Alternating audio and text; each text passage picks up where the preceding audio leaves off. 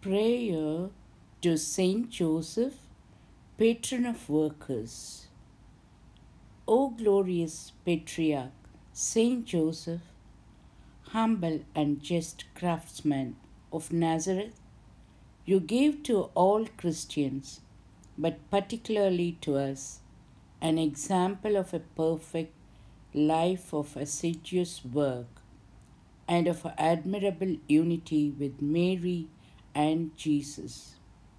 Help us in our daily work so that we might find in it an effective means of glorifying our Lord, of sanctifying ourselves, and of being useful to the society in which we live.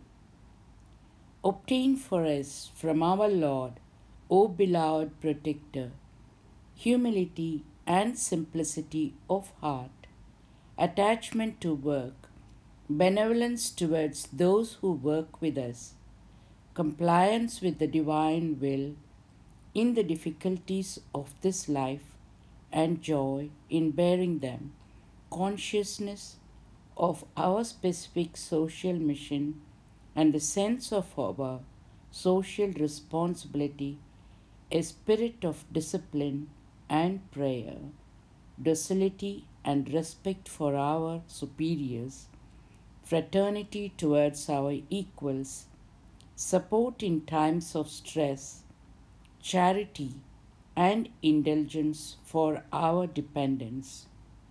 Help us to follow your example and to keep our sight fixed on Mary, our mother, your gentle wife who wove silently in a corner of your humble shop, smiling sweetly. May we never avert our eyes from Jesus, who worked with you at your carpenter's bench, so that we may in like manner lead peaceful and holy lives on earth, the prelude to the eternal happy one which awaits us in heaven forevermore. Amen.